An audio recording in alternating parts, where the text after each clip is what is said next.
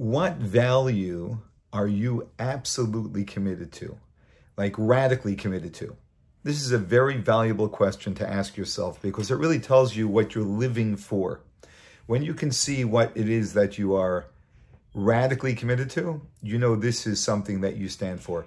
Now there's there are many things we are radically committed to which are not values. They are things that we want. Very often we're radically committed to making a lot of money. We're radically committed to uh, going on vacation twice a year. Um, you know, all the different types of things that serve us. But what is a value that you value so much that you are so radically committed to it that you will do things that will make you uncomfortable, that may cost you money, that may um, have you make people who are near and dear to you uncomfortable for the sake of this value. That's how we know when something is very, very dear to us and we are radically committed to it. And I would say that uh, in, for me, and I believe this is true for any decent person, the things that and the people that inspire us more than anyone else are people who are radically committed to a beautiful value. And when we watch them, when we observe them, when we see that they are willing to give up all of those things that we want in life for the value that they are radically committed to, we're deeply inspired by that. And that's because deep down within every single one of us, there is that desire to be this person, to be the person who has certain values and to stand for those values, even when it gets difficult. And this is really one way that I would sum up what the holiday of Shavuos is all about. The day that God gave us the Torah for this year would be the 3,336th anniversary of God giving us the Torah at Mount Sinai. God chose the Jewish people. What does that mean? He chose us. But are we special? Well, we are distinct. That's clear because when you're chosen for a special role, you're distinct. And God chose us with the distinct role of being a people that will radically stand for values above our own personal interests. That is what the Jewish people are about. And those values are laid out in what God has given us, the Torah. And that is the reason why it is so meaningful to so many people to study the Torah, learn these values, and be committed to them in, in a very strong way, sometimes in a way that other people get disturbed by because they don't even relate to the whole idea of being radically committed to a value. And they don't, and, and they've never maybe even experienced the richness and the beauty and the meaning in living a life which is above my own self interest, but in the interest of the entire purpose that the world was created for.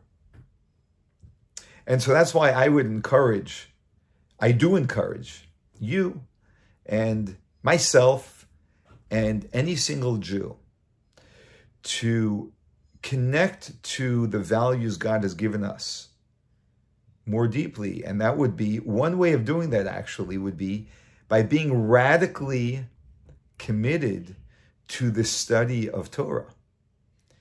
You know, one of the things that the Rebbe encouraged many people to do is to have a fixed uh, daily study of Torah. And he said that that that the fixed aspect of it, you know, which means that you have it steady every day. Um, it, it's very important to have it fixed. It's very helpful to almost to, to most people to have a fixed time, so it becomes a routine and a fixed study of what it is that you are studying. The, all of these things just make it easier to have that commitment. But he said, you know what's most important to have fixed? That the that the commitment is fixed in your soul. That means that it's non-negotiable. That every single day I am going to study this little segment. It can be one verse in the Torah. Every single day, and you learn another verse every single day. Right? It can be a daily study of 10 minutes right? But the main thing is that in your heart, nothing stops me. Like I take a shower every day, I have my coffee in the morning, and I do this study. And then we and then so that that itself is a radical commitment because it's fixed in my soul. It comes from a very deep place. It's not negotiable. It may be a day that you know I have I'm away, I'm relaxing today, I'm on vacation. Uh, it's a day that is very busy. It's the it's the marriage of my child. No excuses. Radically committed, radically committed. It's very very powerful. You'll inspire yourself, and then you'll also be learning about many more values, understanding them more deeply, beginning to appreciate them. Perhaps many values that maybe you haven't appreciated in the past, and then becoming radically committed to those.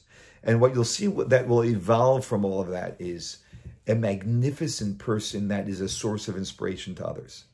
I, I, I, to me, the most inspiring thing about other people is when they are living a life which is radically committed to a value or to a set of values.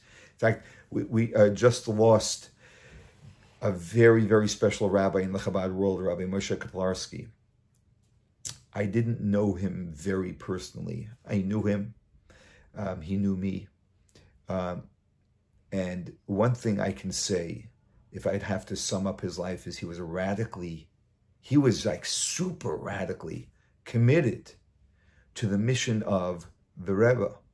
And he demonstrated that by his unbelievable uh, sacrifice on, on multiple levels and his focus uh, to do things that very few people would actually do commitment, radically committed. That's the holiday of Shavuos, radically committed.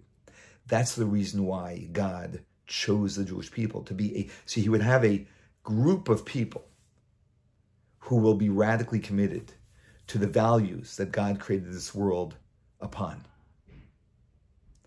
Take on this mission. It's, it makes all the difference. And more than anything else, I always love saying this, the greatest beneficiary is going to be you.